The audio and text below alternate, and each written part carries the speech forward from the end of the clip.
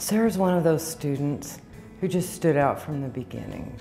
Her aptitude, her attitude, her willingness to go above and beyond. She's just always been a star.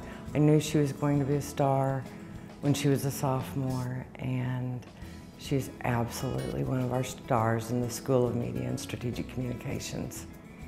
Sara's one of those students who makes us proud, makes every professor proud, and is a good friend and a good steward for the School of Media and Strategic Communications.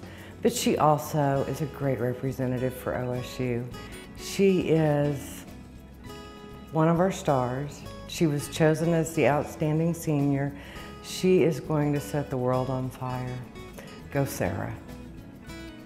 OSU has prepared me for my future by really challenging, challenging me academically and um, making me grow as a leader because I know that it's, when it comes to the real world, it's not just about the textbooks. And OSU's really prepared me for that. And um, I was told something that really rang true to me when I came to college, and it was, this can either be the last four years of your childhood or the first four years of your adulthood. And OSU has really challenged me to see this as the first step to really becoming an adult. And I've gotten so many opportunities to do different things that have made me more, well-rounded, and I feel very prepared to enter the real world.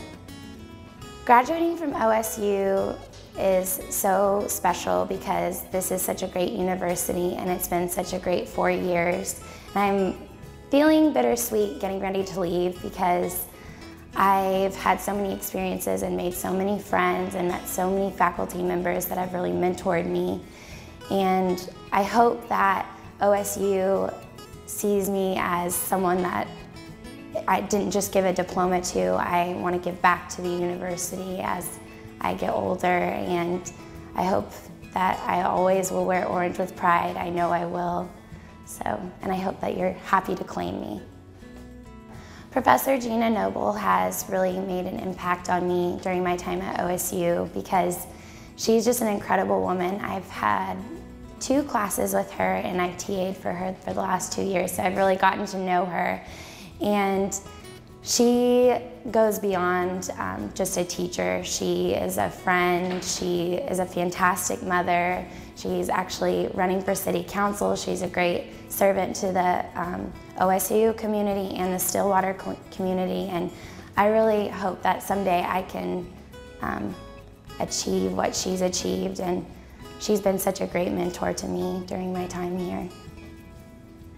This photo was taken in Khayelitsha, South Africa, and uh, I had the opportunity to go with the School of Entrepreneurship uh, to South Africa for three months, and I did business consulting work for two disadvantaged entrepreneurs, and one day I got to go um, play with some children who are actually orphaned. Um, a lot of them have AIDS and uh, so this is my friend Christine, and Christine was in uh, the group that I was in doing business consulting work, and she's from Colorado, and we've stayed really good friends.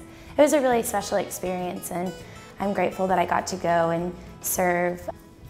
This picture was taken um, at a basketball game. I was a Spur for two years, and college basketball has always been really important to me.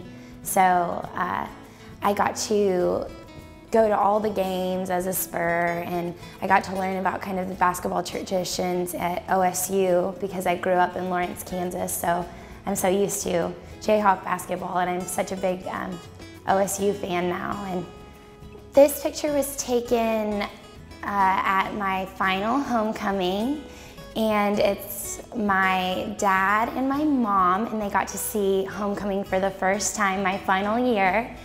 And Homecoming isn't really, um, I had never really seen it before I came to OSU and I think it's such a neat tradition and I got to serve on homecoming steering for two years and write for the publication and I absolutely loved that experience. And homecoming is such a special event and um, I was really grateful that I got to do that.